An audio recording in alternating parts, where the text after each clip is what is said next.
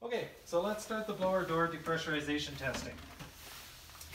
We're going to turn this fan on and, and blow air out through the fan, depressurizing the home and, and sucking air in through all the cracks and gaps and leaks.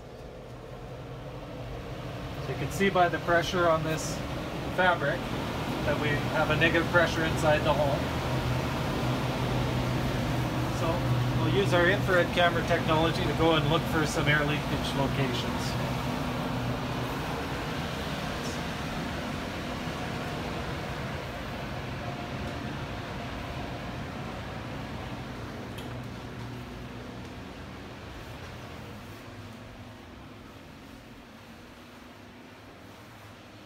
So here we go with a, quite a significant amount of air leakage happening at the bottom of this back entrance door.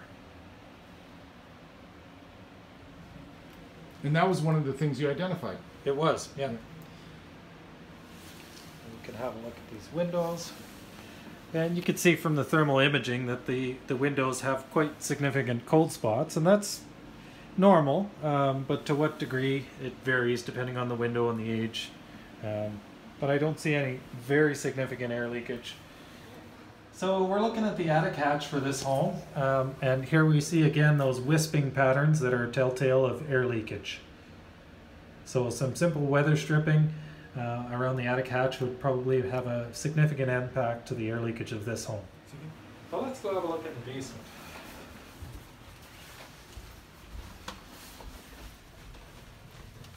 So one place we'll often look for air leakage locations is where there's penetrations through the home.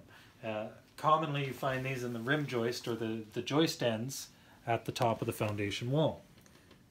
Here we can see some, some very dark um, colors in this image that indicate a much colder temperature and there could be some air leakage there. I'm also noticing that there's no insulation in this location. That would be an easy thing to do to upgrade.